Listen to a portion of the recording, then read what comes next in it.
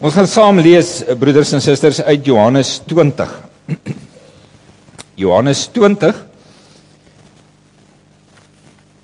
Dit is 'n verdere verskyning van ons Here Jesus Christus na sy opstanding. En vanaand ons Here Jesus se besondere sorg wat hy gegee het aan een van sy disippels aan Thomas. Nou dit is Johannes 20, ons gaan lees vanaf vers 19 af. Daardie Sondag aand, dit was die aand van die opstanding van ons Here Jesus. Daardie Sondag aand was die disippels bymekaar. Hoewel die deure gesluit was omdat hulle bang was vir die Jode, het Jesus gekom en tussen hulle gaan staan en vir hulle gesê: "Vrede vir julle." Nadat hy dit gesê het, wys hy sy hande en sy sy vir hulle. Die disippels was baie bly toe hulle die Here sien. Vrede vir julle, sê hy weer vir hulle. Soos die Vader my gestuur het, stuur ek julle ook. Nadat hy dit gesê het, blaas hy oor hulle en sê: "Ontvang die Heilige Gees." As julle vir mense hulle sondes vergewe, word dit hulle deur God vergewe. As jy dit nie vergewe nie, word dit nie deur God vergewe nie. Thomas wat ook Didimus genoem is, een van die 12 was nie by die disippels toe Jesus gekom het nie. Die ander disipels sê toe vir hom: "Ons het die Here gesien." Maar hy sê vir hulle: As ek nie die merke van die spykers aan sy hande sien en my vinger in die merke van die spykers steek en my hand in sy sy steek nie, sal ek nooit glo nie. 8 dae later was Jesus en sy disippels weer bymekaar. En kyk nou, en Thomas was by hulle. Hoewel die deure gesluit was, het Jesus gekom en tussen hulle gaan staan en gesê: Vrede vir julle. Daarna sê hy vir Thomas: Bring jou vinger hier en kyk na my hande. Bring jou hand en steek hom in my sy. En moenie langer ongelowig wees nie, maar wees gelowig. En Thomas sê vir hom: My Here en my God. Toe sê Jesus vir hom: Glo jy nou omdat jy my sien? Gelukkig is die wat nie gesien het nie en tog glo. Jesus het nog baie ander wondertekens wat nie in hierdie boek beskrywe is nie voor sy disippels gedoen. Maar hierdie wondertekens is beskrywe sodat julle kan glo dat Jesus die Christus is, die seun van God. En sodat julle deur te glo in sy naam die lewe kan hê. Vers 28 29 wil ek graag net weer vir ons lees. Toe sê Jesus vir hom: Nee, en Thomas sê vir hom: My Here en my God. Toe sê Jesus vir hom: Glo jy nou omdat jy my sien? Gelukkig is die wat nie gesien het nie en tog glo.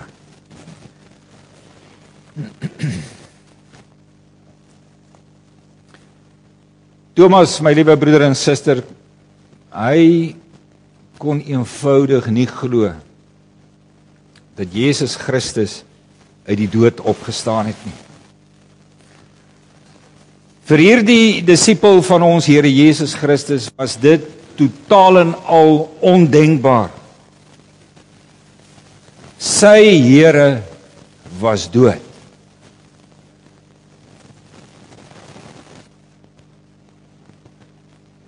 Weet jy nou is daar 'n hele klompie mense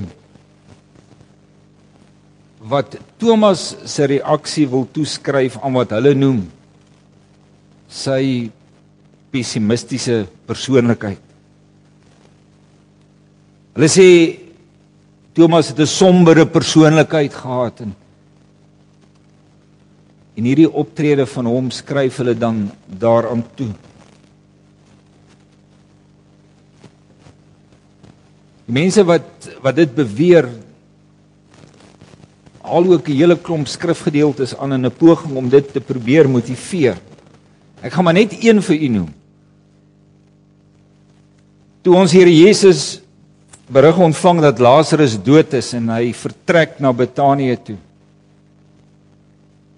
Toe was Thomas se reaksie in sy gesprek met sy mededisippels. Hy het net vir hulle gesê, "Kom ons gaan ook sodat ons saam met hom kan sterwe." Nou sê baie mense hy het so opgetree van wees hy sombere lewensuitkyk, sy sombere persoonlikheid. Ek dink nie dis waar nie. Thomas het nie in die strikke van ongeloof weggesink van wie sy swaarmoedige geaardheid nie. Hy het in daardie dieptes beland, broeders en susters. Omdat hy en dit in die eerste plek omdat hy nie daardie Sondag aand teenwoordig was waar hy moes wees nie. Omdat hy nie daardie Sondag aand die opstanding Sondag aand nie sy mede-disippels opgesoek het nie. Dit staan baie duidelik in in die gedeelte wat ons gelees het. Daar staan Thomas, een van die 12 was nie by die disippels toe Jesus gekom het nie. En 'n mens hoor iets van 'n verwyd in hierdie woorde. Hy was daardie aand nie waar hy as disipel behoort te gewees het nie. Sou hy daardie Sondag aand by sy mede-disippels gewees het, sou hy klomp boodskappe gekry het dat Jesus Christus werklik opgestaan het. Sy mede-disippels sou vir hom kon sê Maria Magdalena het vir Jesus gesien. Die Emmausgangers het hom al gesien. Hulle sou vir Thomas kon sê Petrus Die Here het aan hom verskyn. Maar meer nog, as hy daardie aand gewees het waar hy moes wees in daardie kring van die disippels sou hy met sy eie oë die opgestaane Here Jesus gesien het. Want hy daar aan hulle verskyn.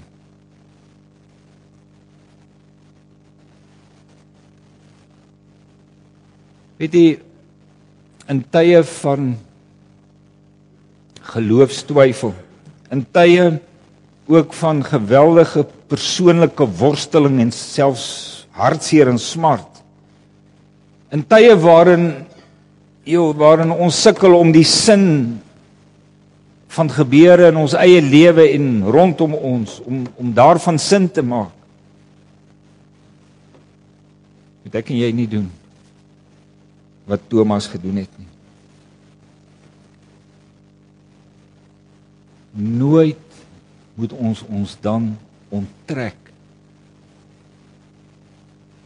aan die kerk van ons Here Jesus aan die gemeenskap van gelowiges waarbinne die Here ons geplaas het. Dit gebeur maklik. Maar dit is fataal, dit is teenproduktief. Dit is juis in die ontmoetings met die Here. In die eredienste, dis juis binne die heerlike gemeenskap van die gelowiges. Dat die Here ons geloof wil opbou, dat hy ons wil versterk. En as ek dan op hierdie moeilike pad is in my lewe. Woon steeds hierdie ontmoetings met die Here by. Want weet jy dis miskien daardie een erediens. Dis miskien daardie een geleentheid waar ek my geloofsfamilie se byeenkoms bywoon. Of dis dalk daai een geleentheid waarin ek in 'n hart tot hart gesprek is met my medegelowiges. Dat die Here mens weer optel. Dat die Here jou weer vasgryp. Jou op koers plaas.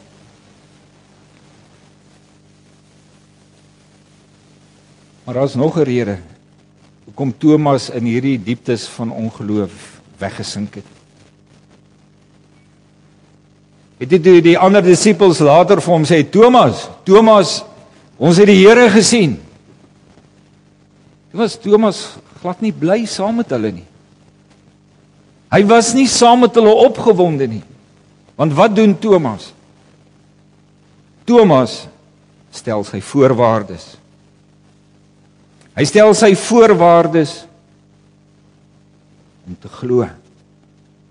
Hy ken sy woorde. Hy sê as ek nie die merke van die spykers in sy hande sien en my vingers in die merke van die spykers steek en my hand in sy sy steek nie, sal ek nooit glo nie.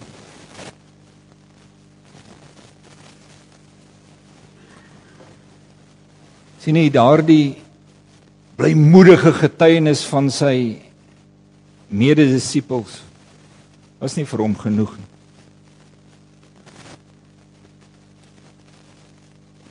Hy wil hê die Here moet aan hom persoonlik kom verskyn.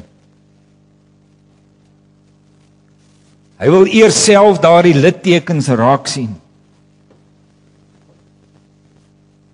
voordat hy sal glo.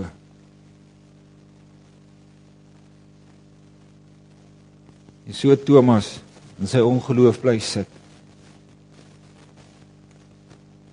En baie eensaam, baie alleen.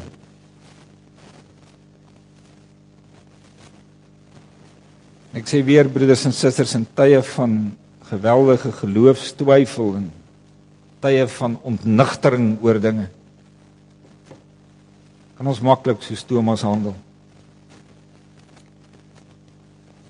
In plaas daarvan dat ons in daardie tye absoluut luister na die woord van die Here. In plaas daarvan dat ons die onfeilbare getuienis van die Heilige Gees werklik ter harte neem en dit ons eie maak en daaraan vashou en daaruit begin leef. gebeur dit ons ook by tye voorwaardes stel soos Thomas.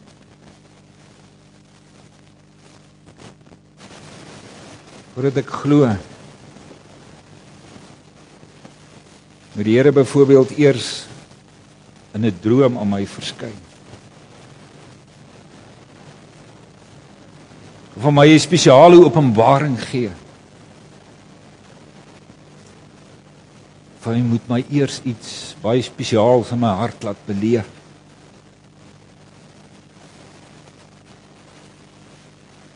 Oppas. Pas vir hierdie voorwaardes stel. Hoe meer voorwaardes ons stel, dieper kan 'n mens vasval in daai kloue van van twyfel en ongeloof. Want in die proses sy stap jy die die woord van die Here.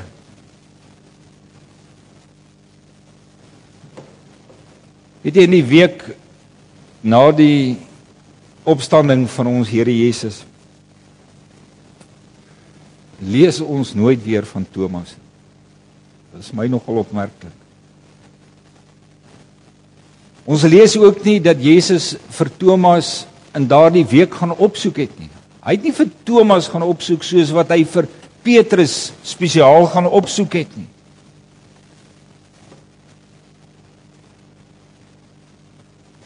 Thomas moes iets leer.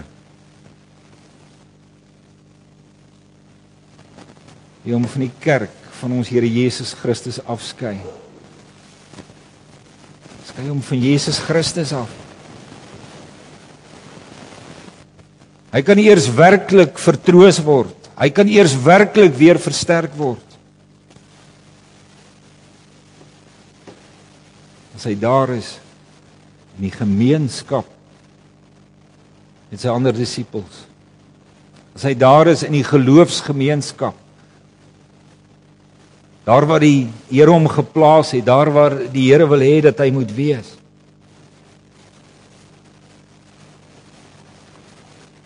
Nou moet u hierdie wonder raak sien. 'n Week later keer Thomas terug na waar hy hoort. Toe kom hy terug na sy mededisippels toe. Wat gebeur dan? Dan kom ons Here Jesus en hy kom soek hierdie worstelende disipel van hom op.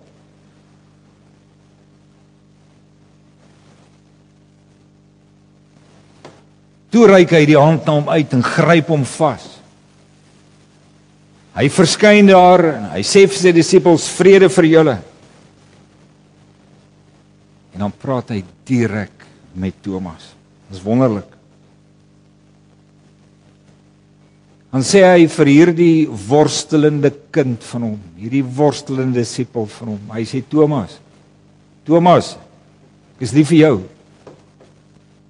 Bring jou vinger hier en kyk na my hande. Bring jou hand en steek hom in my sy.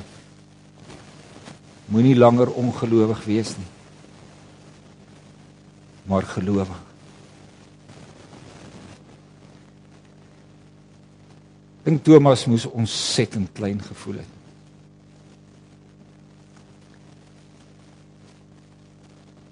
Hy moes besef het maar die Here het geweet wat hy alles ook gesê het vir sy mededisippels. En hier word die hand van goddelike liefde na hom toe uitgesteek. Hier kom ons Here Jesus Christus self en hy En hy soek vir Thomas op. So hand van liefde hierdie hierdie worstelende kind van hom ook vasgryp. Want voor Thomas staan die lewende opgestane Here Jesus. En dan sê hy vir Thomas: Moenie langer ongelowig wees nie. Maar wees gelowig. Of Thomas regtig sy vinger in daai merke in ons Here Jesus se hande gesteek het, dit weet ons nie. Word nie vir ons gesê nie. Wat dat daar binne in Thomas 'n geweldige verandering plaasgevind het. Dit hoor ons uit sy mond. Hy sê vir ons Here Jesus: "My Here, my God, Dit roep hy uit. My Here en my God. En weet jy in daai woordjie my, my Here en my God, dink ek lê die krag van Thomas se belydenis. In hierdie my Here en my God het die totale oorgawe van sy hart.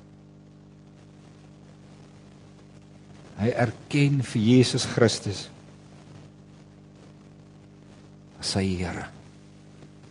Hy erken hom as God self. As sy God. My Here en my God.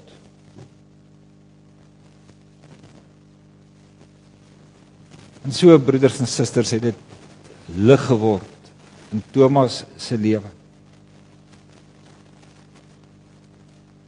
Deur hierdie persoonlike aandag van die Here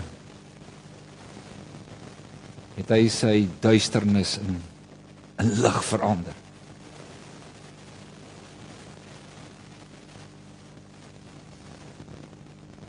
Maar wat sê ons Here Jesus vir hom daarna? Het jy vir die Kananeese vrou het ons Here Jesus gesê, "Groot is jou geloof." Vir Petrus het ons Here Jesus gesê, "Salig is jy Simon Barjona."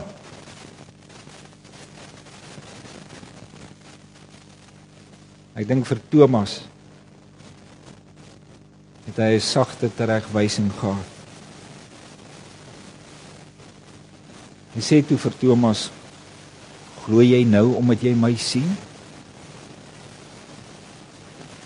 Gelukkig is die wat nie gesien het nie en tog glo. Binnekort sou ons Here Jesus opvaar na die hemel. Thomas sou moes uitgaan as 'n apostel. Hy sou moes uitgaan om die evangelie te verkondig. Wat sou hy vir hulle moes sê as as hulle vir hom sê maar wys eers vir my die Here. Wys eers vir my voordat ek glo.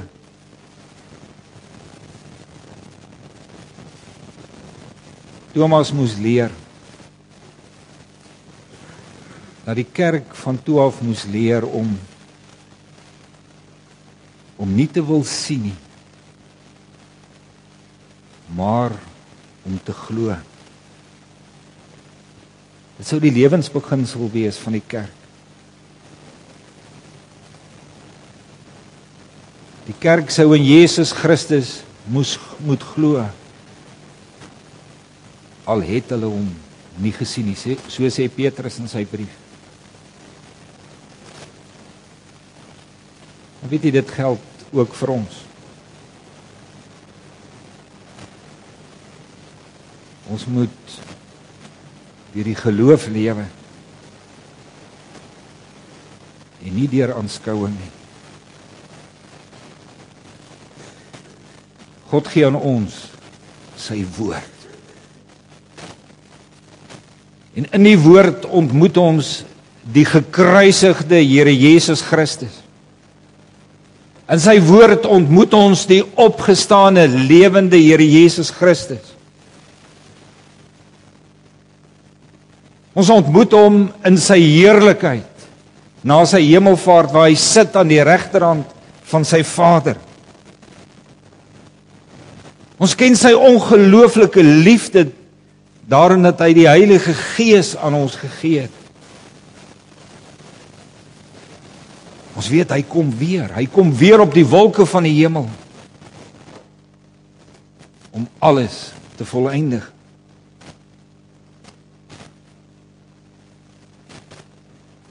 En ek en jy moet dit glo. Moet dit met hart en siel glo. En jy moet in die geloof lewe. Ons moet die die onsigbare in die geloof sien. So skryf die Hebreërbrief.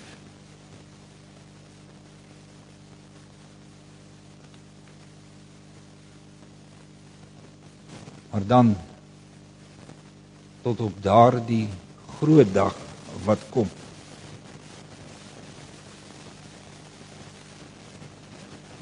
Die groot dag, broeders en susters, waarop ons geloof oorgaan Ja, in aanskouing.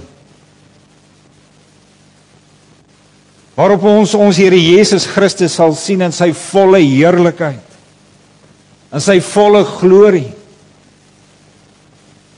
Daardie dag waarop ons van harte en van nature voor hom sal neerval en hom aanbid met daardie woorde van Thomas: My Here en my God.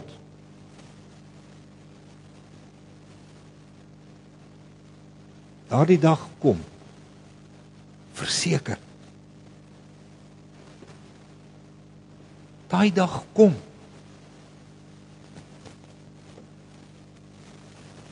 dit moet wonderlik wees Dink jy dit maar net in. Ongelooflik wonderlik. Maar tot dan. Dat ons in die geloof leef.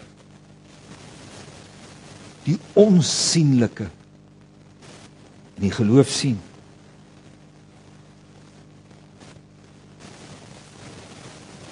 Mag ek en jy werklik hierdie genade van die Here ontvang om in die geloof te bly leef, die onsigbare in die geloof te sien.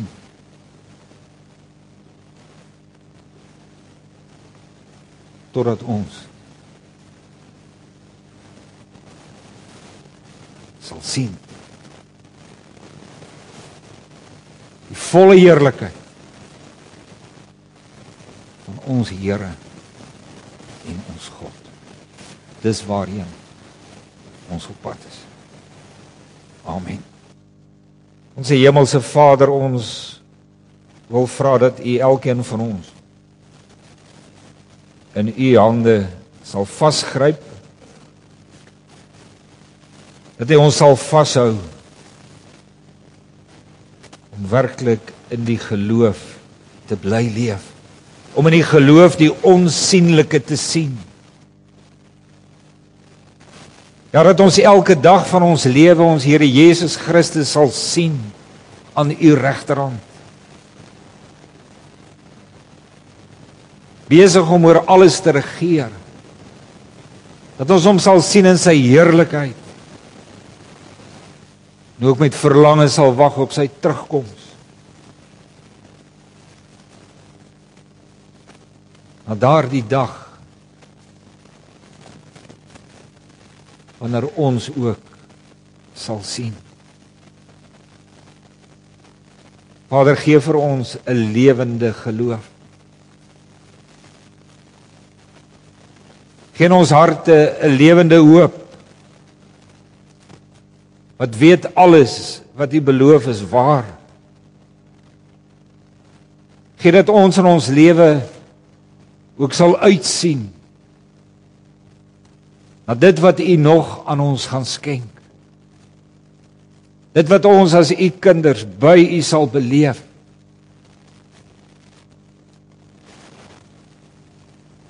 Here dit hierdie verwagting nooit stil sal word in ons harte nie. Maar Here hou dit lewend. En laat ons met krag in die geloof bly leef. Dankie dat ons kan vra Here dat U ons elkeen persoonlik ook in die geloof sal opbou. Soos wat U moeite gedoen het om na individue te kom soos Thomas. Maar bid ons bou ons geloof op deur U woord en deur U gees. Maak ons band met U innig en sterk. Gee lewende verwagting. En daardie wonderlike dag die gloriedag van God wat kom. Ons bid dit in die naam van ons Here Jesus Christus. Amen.